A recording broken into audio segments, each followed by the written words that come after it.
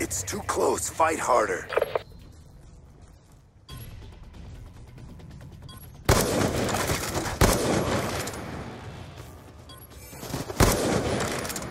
Good job. Get ready for the next round.